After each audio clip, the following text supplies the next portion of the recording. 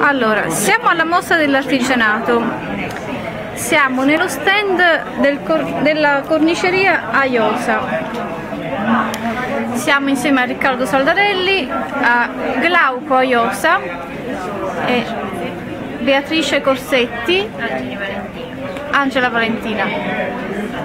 Allora, vuoi dire qualcosa? Certo, eh, voglio dire questo. Questa è la mia accademia, ormai che sono in pensione, eh, non ho più l'obbligo delle... Questo, io incontro delle persone che fanno arte, parlano di arte, sanno cos'è l'arte e producono l'arte attraverso oggetti di arredo. Questo è molto importante. Ho sempre detto che l'arte minore non è inferiore all'arte maggiore, perché tutti i grandi maestri nascevano in bottega e avevano intorno falegnami, muratori, scalpellini. Era forse più importante il doratore nel Trecento che non il pittore.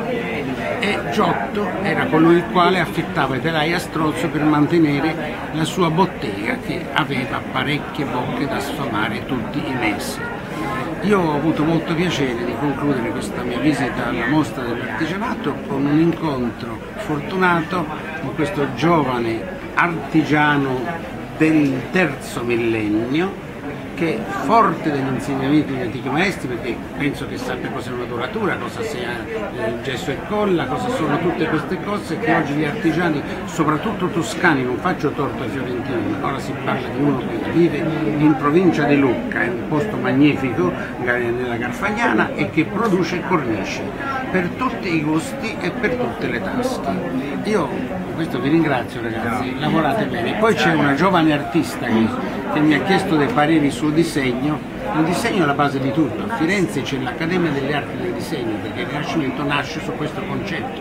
Avevano capito che tutto si disegna, l'architettura, la scultura, tutto si disegna. Poi si dipinge, si costruisce, ma lo scalpellino ha un progetto l'intagliatore ha un progetto, tutti hanno un progetto, il progetto è il disegno, le arti del disegno, il disegno è la base di tutto. Buon lavoro e fortuna. Io voglio solo dire una cosa, che noi oggi abbiamo scoperto la ragione per cui abbiamo fatto la stand della mostra artigianato.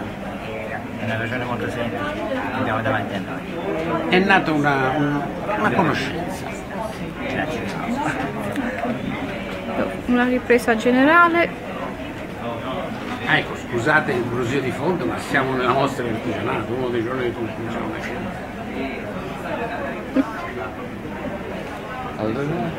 Poi, adesso sono venuto. Certo che sta vicino.